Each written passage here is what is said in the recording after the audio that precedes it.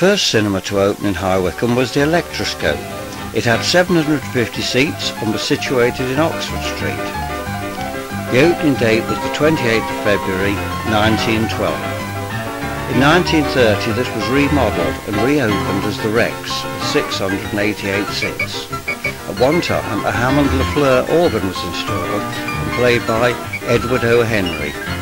The Rex closed the 30th of January 1965.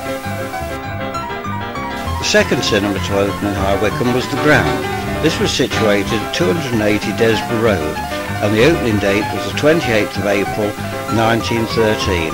The architect T. Thurlow provided 590 seats.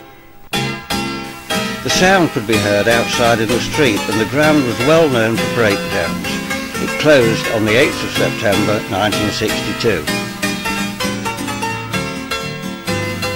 The Palace at Frogmore opened on the 2nd of December 1922.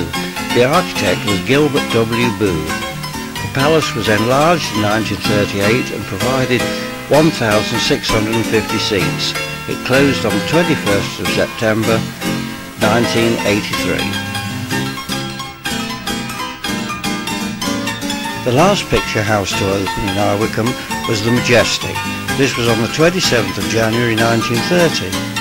The architect, S.B. Pritlove, provided 1,480 seats. It had an interior design by W.E. Greenwood and a Model J Compton organ of two manuals and five ranks. The well-known Ron Rogers began his career at this theatre. The Majestic was taken over by County Cinemas in 1932 and by Odeon Theatres in 1939. The Odeon closed on the 25th of January 1969 and the site was incorporated into a new Woolworths store.